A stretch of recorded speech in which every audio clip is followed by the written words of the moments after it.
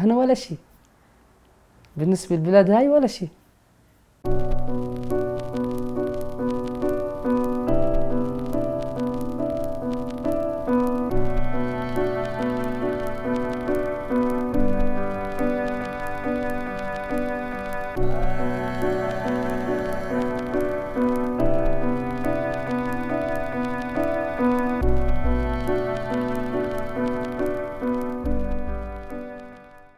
لا إلنا حقوق ولا إلنا إشي. ما بندرس بمدارس حكومة ما بندرس بجامعات حكومة ما بنروح على مستشفيات حكومة. يعني لو بنروح على مستشفى حكومي بيعتبرونا كأنه أجنبي وبندفع بزيادة عن الأردن كتير.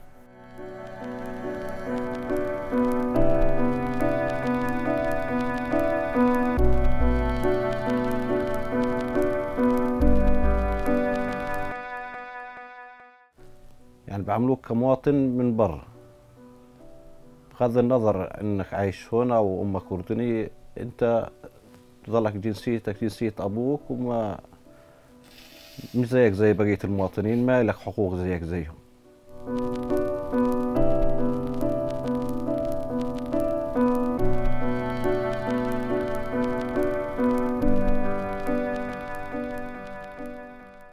يعني مرة وأنا مروح من الشغل راجع في الليل وقفتنا دورية الشرطة فبطلب الهويات ما معي هوية.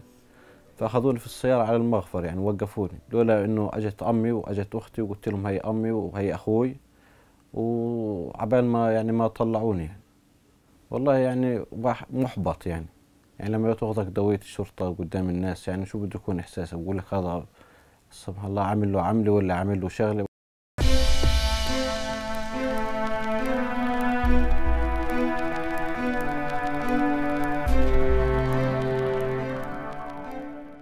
مستحيل إني أجيب بيبي لأنه الظروف اللي رح يخلق معاها البيبي رح تكون كتير ظروف صعبة له آه ما بقدر أخ- أخذ ابني لإلي يعني جنسية ابني لجوزي مش لإلي.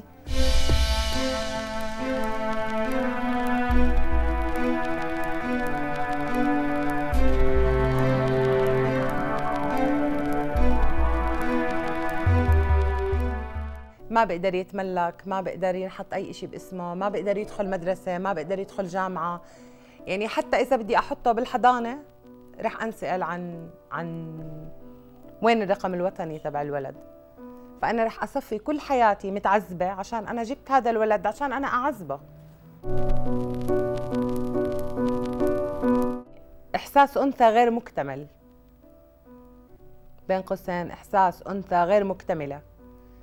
ما مش قادرة تعمل أكتر إشي بتحبه الأنثى أكتر إشي بتحبه إنه يكون عندها بيبي وهذا الإشي أنا مش قادرة أعمله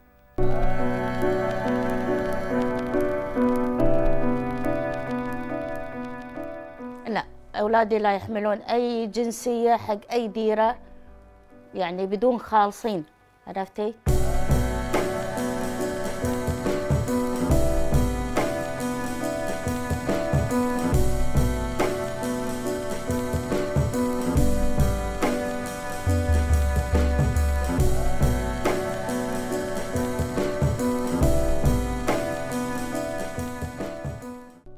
إذا ما عندهم هوية ما عندهم الجنسية ما عندهم إثبات يثبت إنهم يعني آه، كويتيين من أم كويتية آه، راح شوية أمورهم تص- تصير صعبة.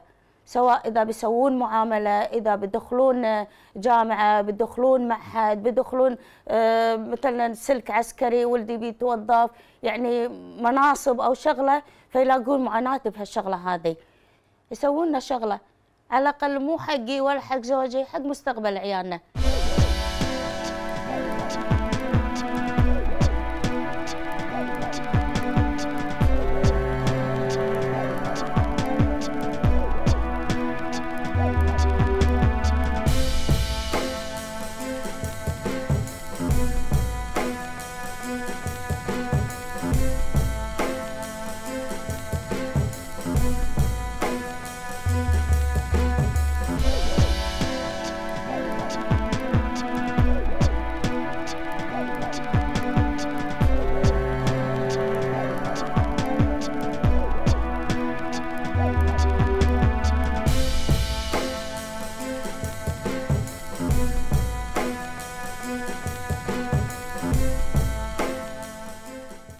قبل الجنسية المغربية كان بيقولوا هما دائما في مش مشكلة طب بيقولوا هما أجانب.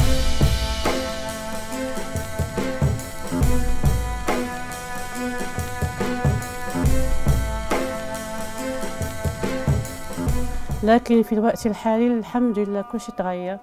ما دام عندهم جنسية مغربية يعتبرون مغاربة